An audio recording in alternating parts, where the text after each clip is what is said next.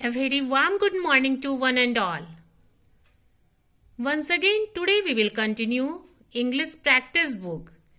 And in this book, we have started Unit 8 that is sentence in previous classes.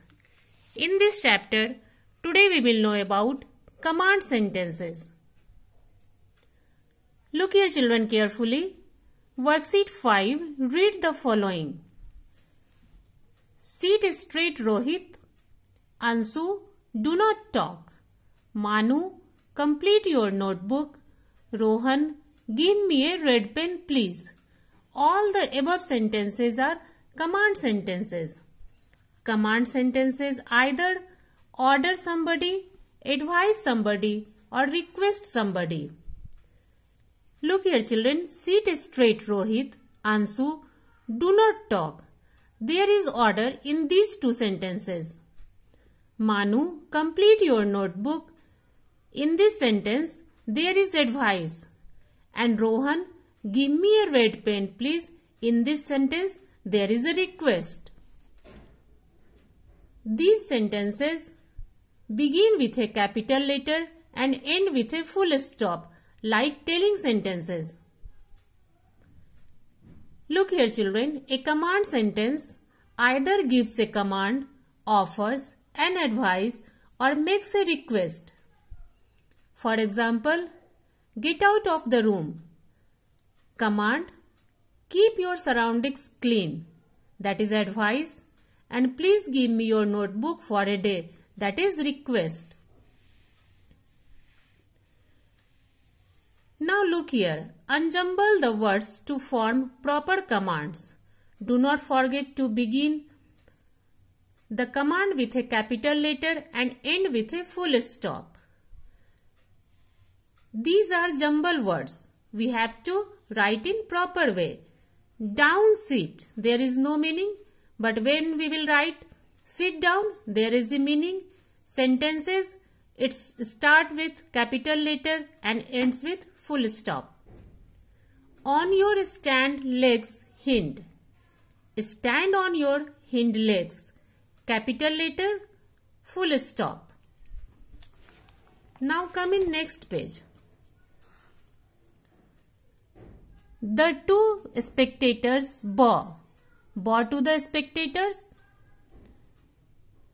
Capital letter, full stop. We must keep in mind. Leap through the ring. Leap through the ring. Capital letter, leap, L and there is full stop. Mount the stairs. Again capital letter M and full stop. These are command sentences which are in either order, command or advice. There may be request in command sentences. Worksheet 6. Look at the signboards given below and write appropriate commands. One example is given for you. There are some signs. We had to write about this. Don't blow the horn. This sentence is related to this picture. Now we have to write like this. Don't smoke. Use dustbin. Walk on zebra crossing. This is zebra crossing. Walk on zebra crossing. Save water. And do not park here. We have to follow this. Then after we will write about these signs. Now come in next page. Read the following situations. Write advice, suggestion that you will offer to your friend in such situation. One example is given for you. At first, we should read situation. Your friend is running high fever. In this situation, what should you do? What advice should you do? And what advice you should give to your friends?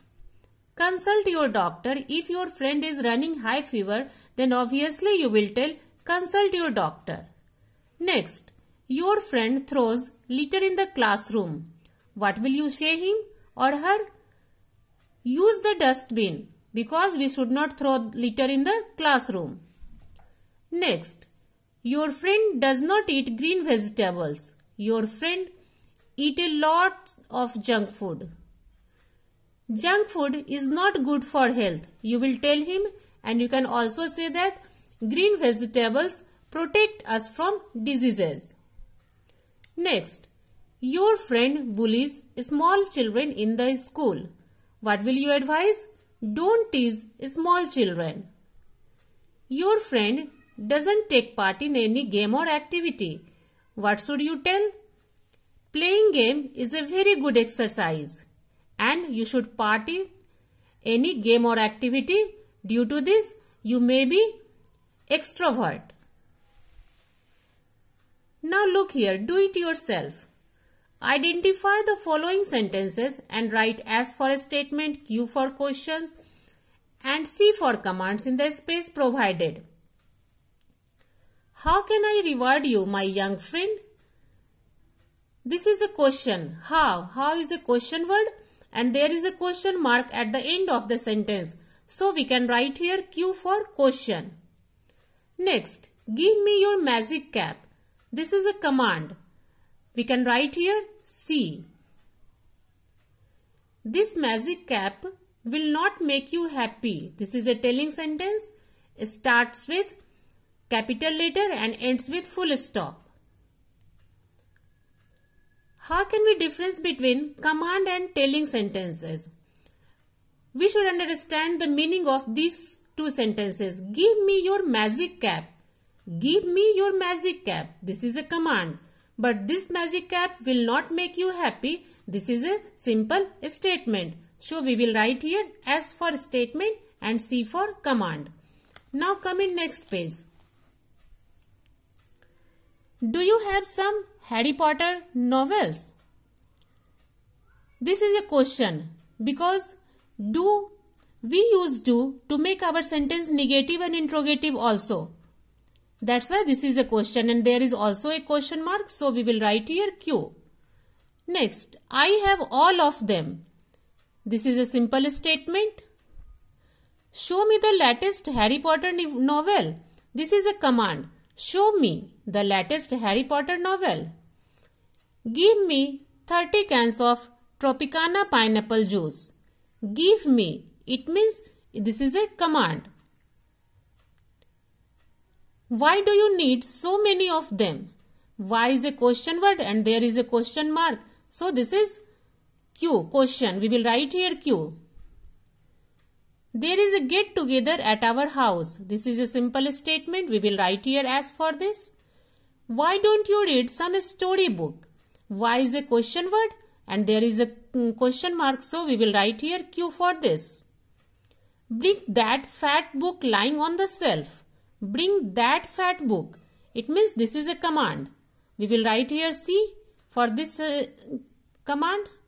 It contains the world's best fairy tales. This is a simple statement. So we will write here S. Now look here children. Rewrite the following story using capital letters, full stops or question marks wherever necessary. As we know that a sentence starts with capital letter. So we should write here a hawk was trying to catch a pigeon. There should be full stop. Then after we will start capital letter. Just then a noble man captured the hawk. There should be full stop. Next the the helpless hawk pleaded to be set free. The helpless hawk pleaded to be set free. The. We will write here capital the. Next. Why should I set you free? There should be question mark. Said the nobleman. I have never harmed you. I. There is a I in a small letter. So we will write here in capital letter. I have never harmed you. Why? Then do you want to harm me? To this, there should be question mark. The nobleman replied, Has this pigeon ever harmed you? In any way, there should be question mark because has. We should write has in front of the sentence in starting the sentence to make sentence interrogative and there should be question mark. The hawk realized its mistake and apologized to the pigeon and the nobleman. So in this paragraph, we should write capital letter in the starting of the sentence and we should give full stop or question mark at the end of the sentences. That's all for this unit 8 that is sentences.